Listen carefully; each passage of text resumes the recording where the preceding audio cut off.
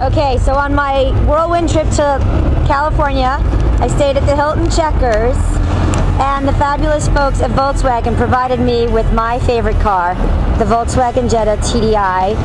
I've actually I've been a Volkswagen driver since I was no I wasn't 15 I had a, didn't have a license then it would be 17 years old and and I have fond memories of my Jetta and when I finally got rid of my minivan this was the car I got so I was very happy when they said when I came to California that I'd be able to get the Volkswagen Jetta to tool around in, uh, in Tinseltown. So let's go take a look inside and, uh, and we'll uh, check out all the fun features.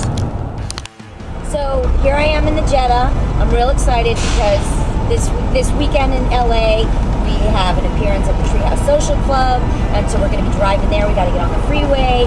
Then we've got to go to um, Kid Rockers the next day on Sunset Boulevard.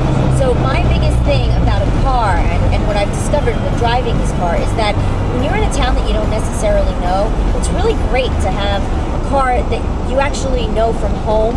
Um, I've driven the Jetta for years, so you get in and it fits like a glove, and it just you know the steering, you know everything there is about that car. And I've and the reason why I have it, I had a Jetta was because I just love the way it drives. It has great pickup. Um, I can, you know, obviously the steering is easy. It's easy to park.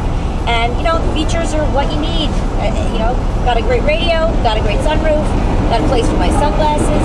What else do you need? I'm telling you, Jetta's a good find. It's for moms who want to get rid of those, you know, their mom vans. You should definitely check this out because the Jetta is definitely an awesome mom car for you to